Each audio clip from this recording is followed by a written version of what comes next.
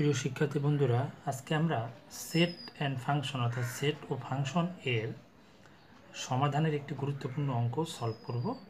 তো আপনারা যদি এই অঙ্কটা মনোযোগ দিয়ে করেন, তাহলে এই জাতীয় সমস্যাগুলো আপনারা সব পারবেন। তো চলুন, প্রথমে দেখুন, দেওয়া আছে আপনার two x plus y comma three equal to six comma x minus y হলে এক্স কমা ওয়াই এর মান নির্ণয় করো। তো এই জাতীয় ক্ষেত্রে একটা জিনিস আমাদের মাথায় রাখতে হবে, তা হলো ব্র্যাকেটের মধ্যে দুই ব্র্যাকেটের মাঝখানে যে সমান চিহ্ন আছে, তো উভয়ের ক্ষেত্রে আমরা বাম পাশে যে অংশটা আছে, দেখুন, বাম পাশে দুইটা অংশ আছে এবং ডান পাশে দুইটা অংশ আছে, মাঝখানে কমা দেওয়া আছে। তো আমরা কি করব? প্রথম অংশ ইকুয়াল টু প্রথম অংশ এবং দ্বিতীয় অংশ ইকুয়াল টু দ্বিতীয় অংশ আমরা লিখব এখান থেকে। তো আমরা লিখি এখানে, দেওয়া আছে, আমরা যদি প্রথম অংশে খেয়াল করি, এখানে খেয়াল করুন কী দেওয়া আছে।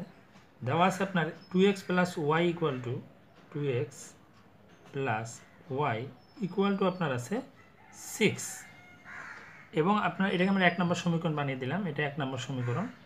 এবং খেয়াল করুন থ্রি প্রথম ইকুয়াল টু প্রথম প্রথম অংশটা ইকুয়াল টু প্রথম অংশটা লিখছি আমরা তার দ্বিতীয় অংশ ইকুয়াল টু দ্বিতীয় অংশটা হবে, অর্থাৎ three equal to x minus y হয়। তো আমরা জানি যে সমান চিহ্নের যে কোনো এক পাশে আমরা যদি চেঞ্জ করি, পুরোটাকে এক পাশ থেকে অন্য পাশে নিয়ে যাই, তাহলে কোনো সমস্যা নেই। তো আমরা এক্সগুলোকে বাম পাশে রাখছি এক্স ওয়াইকে এই জন্য আমরা এইটা ইকুয়াল টু এইটা লিখব। Three equal to x minus YO যা x minus y equal to থ্রিও তা আমরা লিখব x minus y equal to three এইরকম দুইটা সমীকরণ আমরা পেলাম।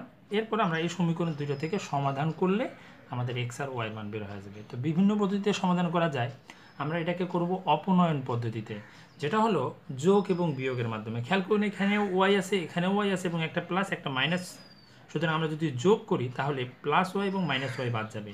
সুতরাং আমাদের প্রথম কাজটা হবে সমীকরণ এক প্লাস সমীকরণ দুই করা। আমরা যদি এই অংশটা করি, তাহলে কী হবে? সমীকরণ এক প্লাস সমীকরণ দুই করে পাই। কী পাই আমরা? খেয়াল করুন, আমরা একটু লিখি। Two x plus y equal to আছে সিক্স এবং x minus y equal to আছে আপনার থ্রি তো এখানে আমরা যেহেতু যোগ করতেছি, তাহলে খেয়াল করুন, চিহ্নের কোনো চেঞ্জ হবে না। তো এখানে প্লাস ওয়াই আর মাইনাস ওয়াই উপর এবং নিচ থেকে আপনার বাদ যাবে। এরপর কী থাকে আপনার দেখুন টু এক্স আর এক্স আমরা যদি যোগ করি তাহলে কী হবে? Three x three x equal to খেয়াল করুন, ছয় আর তিন মানে সিক্স আর থ্রি যোগ করলে কত হবে? নাইন তাহলে আমরা এখান থেকে যদি এক্সের মানটা বের করি মানে এক্সটাকে বাম পাশে রাখি, তাহলে থ্রি গিয়ে নাইনের সাথে ভাগ করলে তিন তিরিকে নয়, অর্থাৎ এক্সের মান পাবো আমরা থ্রি তো আমাদের দেখুন একটা অংশ আমরা পেয়ে গেছি এক্সের মান। এবার ওয়াইয়ের মানটা বের করতে হবে। এখন এক্সের মানটা আপনি এক অথবা দুই যে কোনো সমীকরণে বসালেই আপনার ওয়াইয়ের মানটা বের হয়ে যাবে। আমরা এখন বলে দিই যে এক্সের মান এক্সের মান আপনার এক নং সমীকরণে বসিয়ে পাই।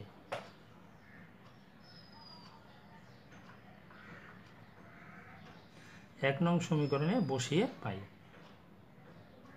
আমরা যদি এক নং সমীকরণে বসাই, তাহলে কী হয় দেখুন, এখানে এক্সের জায়গায় যদি আমরা ওয়ান বসাই, এখানে কি আছে আপনার two x plus y equal to আছে আপনার সিক্স তো এক্সের জায়গায় যদি আমরা থ্রি বসাই, তাহলে two into three plus y equal to six মানে এক্সের জায়গায় আমরা থ্রি বসালাম, যেহেতু এক্সের মান থ্রি পরে আমরা কী পাবো? তিন দুগুণে ছয় plus y equal to six এরপর আমরা যদি ওয়াইটাকে বাম পাশে রাখি সিক্সটাকে ওই পাশে নিয়ে যাই, তো খেয়াল করুন সিক্স মাইনাস সিক্স মানে কি? জিরো অর্থাৎ আমরা ওয়াই ইকুয়াল টু কী পাচ্ছি? ওয়াই ইকুয়াল টু আমরা পাইলাম জিরো সুতরাং আমাদের প্রশ্ন অনুযায়ী সমাধান হবে x comma y equal to এই যে অতএব নির্ণয় সমাধান। আমরা এটাকে লিখব এইভাবে একদম ফুল আমরা রিটার্ন যেভাবে লিখতে হয়, সেভাবে লিখে দিয়েছি। আপনারা এইভাবে করলে ফুল নাম্বার পাবেন। এখানে দেখুন। অতএব নির্ণয়ের সমাধান x comma y x comma y bracket দিয়ে লিখব আমরা যেভাবে ছিল। এবং মানগুলো লেখার ক্ষেত্রে এক্সের মানটা আগে লিখব। এক্সের মান আপনার থ্রি আর ওয়াই মান হচ্ছে আপনার জিরো তো এই সিস্টেমে করলে অ্যাকচুয়ালি আপনাদের প্রশ্নের সমাধান হয়ে যাবে। তো বন্ধুরা আজকে এই পর্যন্ত আপনারা আশা করি এগুলো যদি বেশি করে প্র্যাকটিস করেন, তাহলে এই সমাধানের অঙ্গগুলো আর সমস্যা হবে না। আল্লাহ হাফিজ।